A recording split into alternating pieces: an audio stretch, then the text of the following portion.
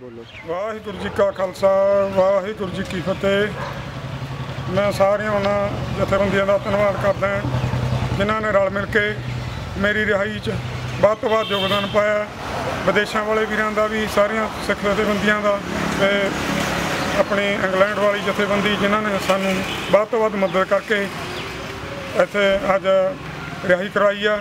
ਤੇ ਇਹਨਾਂ ਨੇ ਜਾਖੜ ਸਾਹਿਬ ਨਾਲ ਮਿਲ ਕੇ, ਡੀਜੀਪੀ ਸਾਹਿਬ ਨਾਲ ਮਿਲ ਕੇ ਆਰਪੀ ਸਿੰਘ ਨੇ, ਬਹੁਤ ਪ੍ਰੋਫੈਸਰ ਮੇਰ ਸਿੰਘ ਨੇ ਤੇ ਸਾਰੇ ਸਮੂਹ ਜਥੇਬੰਦੀਆਂ ਨੇ ਬਹੁਤ ਹੀ ਯੋਗਦਾਨ ਪਾ ਕੇ ਮੇਰੀ ਰਿਹਾਈ ਬਖਸ਼ੀ ਆ, ਜਿਹੜਾ ਡਿੱਕਾ ਲੱਗਦਾ ਸੀ। ਖਾਸ ਕਰਕੇ ਮੈਂ ਭਾਈ ਬਲਵੀਰ ਸਿੰਘ ਬੈਂਸੁਰਾਂ ਦਾ, ਸਿੱਖ ਅਰਲੀ ਸਾਰਿਆਂ ਦਾ ਬਹੁਤ ਬਹੁਤ ਦਿਲੋਂ ਧੰਨਵਾਦ ਹੈ। ਜਿਨ੍ਹਾਂ ਨੇ ਕਿ ਸਾਰੇ ਸਿੰਘਾਂ ਦੀ ਬਾਹ ਚੜ ਕੇ ਮਦਦ ਕੀਤੀ ਹੈ ਤੇ ਕਰਦੇ ਹਨ। ਤੇ ਮੈਂ ਉਹਨਾਂ ਦੀ ਅਰਦਾਸ ਵੀਰੇ ਸਾਰੇ ਸਿੰਘਾਂ ਵੱਲੋਂ ਕੀਤੀ ਗਈ ਸੀ, ਜੋ ਪਿੱਛੇ ਉਹਨਾਂ ਦੇ ਨਾਲ ਐਕਸੀਡੈਂਟ ਦਾ ਘਟਨਾ ਵਾਪਰੀ ਆ। ਤੇ ਮਹਾਰਾਜ ਨੂੰ ਬੇਨਤੀ ਕਰਨਗੇ ਸੱਚੇ ਪਾਤਸ਼ਾਹ, ਇਹੋ ਜਿਹੇ ਸਿੰਘਾਂ ਨੂੰ ਚੜ੍ਹਦੀ ਕਲਾ ਬਖਸ਼, ਤੰਦਰੁਸਤੀਆਂ ਬਖਸ਼, ਤੇ ਸਿੱਖ ਕੌਮ ਦੇ ਨੌਜਵਾਨਾਂ ਵੀਰਾਂ ਦੀ ਤੇ ਸਿੱਖ ਕੌਮ ਦੀ ਚੜ੍ਹਦੀ ਕਲਾ ਵਿੱਚ ਹੋ ਕੇ ਸੇਵਾ ਵਿੱਚ ਵਿਚਰਨ ਕੇ ਚੜ੍ਹਦੀ ਕਲਾ ਵਿੱਚ ਸੇਵਾ ਕਰਨ। ਵਾਹਿਗੁਰੂ ਖਾਲਸਾ ਵਾਹਿਗੁਰੂ ਜੀ